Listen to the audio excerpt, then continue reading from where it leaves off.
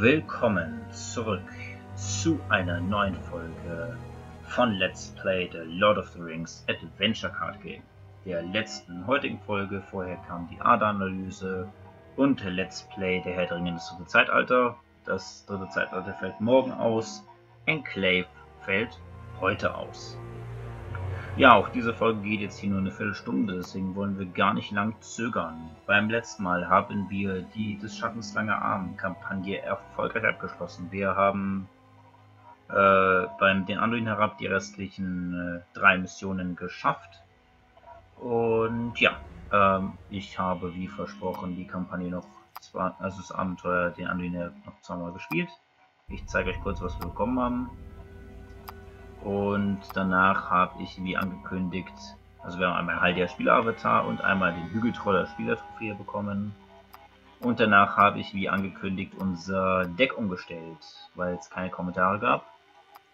Das will ich euch auch noch kurz zeigen.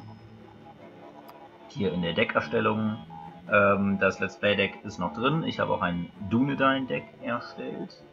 Ähm, das zeige ich auch. Aber ja, ich weiß nicht, ob ich es in der Folge mache. Mal gucken. Also bei uns im Lila Deck ist eigentlich nicht viel anders. Wir haben jetzt im Lila Deck den ähm, einen Eiselberger Wachposten ist draußen und der Zwergensöldner ist draußen. Dafür ist drin Tom Bombadil und äh, der Hüter des Waldes, die wir aus der letzten Folge kennen. Und ansonsten habe ich die Rüstung des Erebors rausgetan für äh, das Schild von Gondor, weil ohne die Rüstung des Erebors wäre im letzten Part Dain nicht gestorben. Ich glaube, sonst ist es gleich. Ich sage trotzdem kurz, einmal Naria, einmal gemacht, einmal aus dem Inneren, eine Erebor-Wache, ein Grünwaldverteidiger, ein Umhang der Waldläufer, einmal Vernichtung des Süden, äh, des Nordens, einmal Verstärkung, zwei Waldmenschen, ein Ziegelbergmann, einmal Pony, einmal Erestor, einmal Kram, einmal Eisenberger Wachposten, einmal die hilfreiche Knappe, einmal Rahmenflügelhelm, einmal der ruhige Lanzenreiter, einmal der Rechte der Feste, einmal das Schwert von Numenor, zwei Hüter von der Numinas, zweimal Erkenbrand, einmal Schild von Gondor, einmal Tom Bombadil, zwei Wächter von Arnor, ein Gandalf und ein Hüter des Waldes. Ich bin jetzt noch schnell durchgegangen, weil wir haben jetzt gerade sehr wenig Zeit. Ähm, ich glaube, sonst hat sich nichts geändert. Ja, und dann habe ich das Dunedain-Deck mal versucht. Das ist ein lila-rot-Deck. Ähm, man kriegt nicht alle Dunedain, weil Dunedain gibt es bei lila, rot und blau. Ich habe deswegen lila-rot genommen, weil bei rot gibt es einen Dunedain, den Jäger der Dunedain, den ihr schon kennt, der zwei rote braucht. Da musst ihr ihn entscheiden. Wir haben hier einmal Argon drin, einmal Legolas und einmal Itrae. Das ist auch eine Dunedain. Das ist Dunedan, ein Zahl. 10 Gesundheit, 2 Leben, 1 Willenskraft und sie geht spiel spielbereit, wenn sie etwas tötet. Ähm, da es ein Dunedain-Deck ist, war sie für mich selbstverständlich. Ich habe halt echt überlegt, ob ich ein lila-rot-blau-Deck mache, aber fürs erste habe ich zwei Bogen, zwei Bogen. Einmal der Bogen der Galler drin, Verlust, ein Schaden und Fernkampf. Naria natürlich, der Grünwaldverteidiger, dann der Jäger der Dunedain. Ihr wisst, den mag ich nicht so, weil er ruft halt automatisch einen Gegner von Sauron. Also Sauron kann Gegner spielen mit 1 bis 3 Kosten. Aber ja, 6 Gesundheit, 2 Schaden zur Willenskraft, der ist halt nicht schwach für eine Ressource. Mal gucken, vielleicht meist doch. Also er geht nur, wenn wir beide roten haben. Ansonsten würde ich es halt wieder rot-blau nehmen und dann ging mir der blaue. Der ist ein aber dafür ein bisschen schwächer und ein bisschen. Gerne eure Meinung dazu. Dann haben wir derzeit noch den Schall der Aurelierenhörner. Gewährt plus ein Schaden und schützt bis zu drei Charaktere in der Runde. Das ist cool. Den Steinhagel fügt einem zufälligen Gegner einen Schaden zu und das kann man für jeden Verbündeten wiederholen. Das heißt, wenn man da ordentlich Verbündete hat, kann das ordentlich Schaden machen. Den Umhang des Waldläufers, natürlich, weil Waldläufer, Vermächt des Nordens ebenfalls natürlich. Dann haben wir Versuch es nochmal. Ähm, der Angreifer kriegt beim nächsten gegnerischen Angriff Schaden in Höhe des Schadenswerts von dem, den er angreift. Eine sehr nette Karte. Zweimal der Waldmensch, zweimal der Bogenschütze von Fornost. 4 Gesundheit, 1 Schaden und Fernkampf. Außerdem plus 1 Schaden, wenn er was tötet, geht bis 3. Das heißt, im besten Fall macht er 4 Schaden. Ähm, die Ehrengarde. 4 Gesundheit, 2 Schaden und gibt bei jeder Auffrischung einem Charakter Block. Außerdem einen Charakter abschirmen, wenn sie stirbt. Hilfreiche Knappe. Der Rahmenflügelhelm, der Rohim Lanzenreiter, der mächtige Feste, dann Beorn. 6 Gesundheit, 2 Schaden, 1 Willenskraft und plus 1 Schaden für jeden Gesundheit, der es her verliert. Man kann ihn halt nicht verstärken, man muss den gut beschützen, aber Beorn kann richtig reinhauen. Dann auf die Orks, das sehen wir hier schon.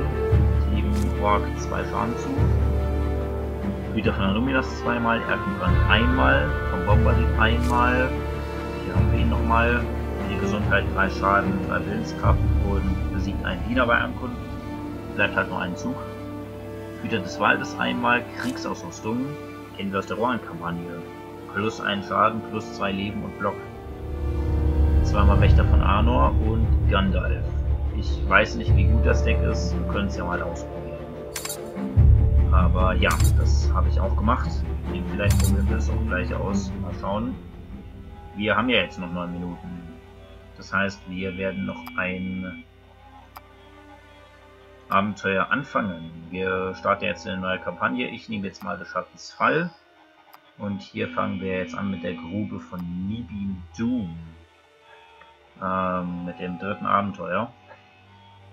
Und hier werde ich jetzt mal das Dunkelstein-Deck einfach testen, würde ich sagen. Warum eigentlich nicht? Hier ist Führungsfokus noch. Ich weiß nicht, ob wir das mal gesehen haben. Weil die anderen Fokus-Decks sind davor. Ja, ich probiere das mit dein Deck mal, wie sich das... Oder vielleicht probiere ich es im Off mal. Ja, ich weiß es jetzt nicht. Ne, ich probiere es jetzt hier mal.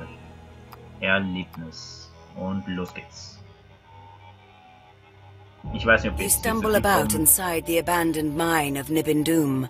Once a thriving dwarven mine in ages past, it is now little more than a maze of winding passages and damp caves. You feel the weight of the hill pressing down, as whispers in a dark tongue echo through the labyrinth. You advance with caution through shadowed passages, the sense of danger growing with every step. Okay. Ähm, ja, ich weiß natürlich jetzt nicht, ob wir jetzt heute wirklich eine Schlacht schaffen, aber ich will es mal ausprobieren. Ähm, ja, wir sind in der Mine und es ist hier drohende Gefahr. Mit jedem Schritt ein Labyrinth aus verwinkelten Passagen, hier kann jederzeit was angreifen. Das ist halt leider keine Zwerge. Dunkles Labyrinth. I'm Aragorn, son of Arathorn. I'm Idrain, defender of the North. I do not fear the dead. Okay, mal gucken. Schön. Ja. Das hätte ich jetzt ungern. Ich hätte gerne. Obwohl. Bei der Knappe, ne? Ja, ich lasse es mal doch. Das ist so die Hand. So, mal gucken. Finde einen Weg durch das Labyrinth. Zwei Fledermäuse ist nicht viel. Legolas darf gleich mal einen Schaden machen, das ist ja sein Auffrischungseffekt. Dann natürlich eine Fledermaus. Was haben wir hier? Abgelegte Fackel. Entzünde ein, äh, eine entzündete Fackel. Gibt Auffrischung plus einen Schicksalsgrad. Wenn du dich durch einen engen Durchgang in Richtung eines Lichtschimmers quetscht, fühlst du dich äußerst verwundbar gegenüber dem, was auf der anderen Seite wartet. Zu deiner Erleichterung handelt es sich bei dem Licht lediglich um eine unbeaufsichtigte Fackel. Sie sollte dabei helfen, einen Weg durch diesen dunklen Gänge zu finden. Okay. Bei 5 Willenskraft, starker Wille. Jeder Charakter wird mindestens 5 Gesundheit. Mache jeden Charakter mit mindestens Gesundheit bereit und füge jedem einen Schaden zu. Ignore Block. Das irritiert mich gerade. Du und deine Gefährten äh, bringen frischen Mut auf, um die Erschöpfung und Angst abzuschütteln. Bei 7 Hoffnung an dunklen Orten. Minus 3 Bedrohung, wenn die Bedrohungsgradanzeige bei 40 oder mehr liegt. Sonst jeder Charakter ein Gesundheit. Okay, das ist schön. Obwohl du dich tief im Unterschlupf des Feindes befindest, ziehst du Stärke aus der Verbundenheit mit deinen treuen Gefährten. Und ortsspezifisch bei 10. Ein Licht im Dunkeln. Du findest einen Weg aus dem finsteren Labyrinth hinaus. Ah ja. Damit muss man wahrscheinlich gewinnt man wahrscheinlich quasi automatisch. Du kannst am Rande des Blickfelds ein schwarzes Licht ausmachen. Du weißt zwar nicht, was dich dort erwartet, aber das ist immer noch besser, als durch die dunklen Gänge zu gehen. So, hier haben wir schimmernde Ferne für 5 Willenskraft.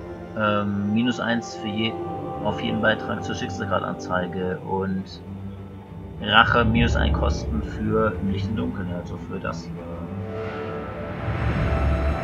Okay.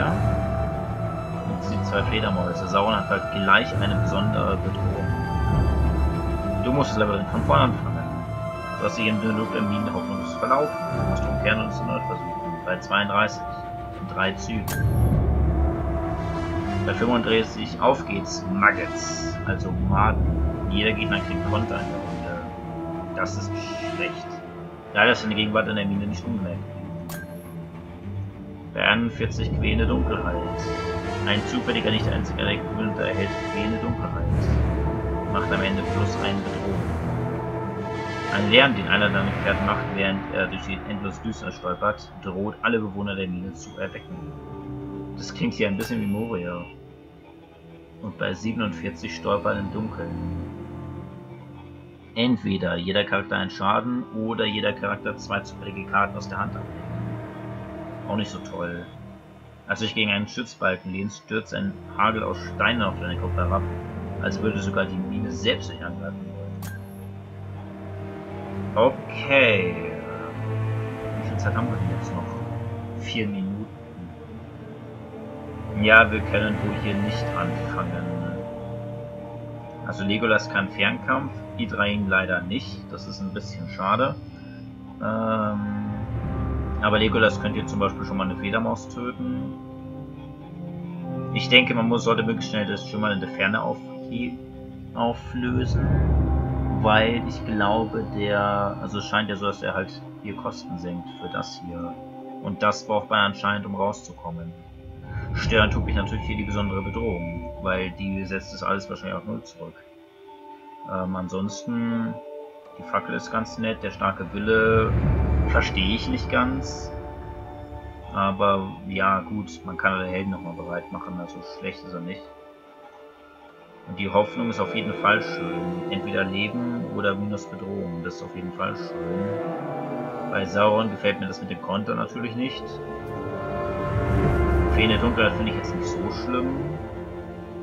Ach, ein nicht einzigartiger Verbündeter das. Okay, dann ist es doof.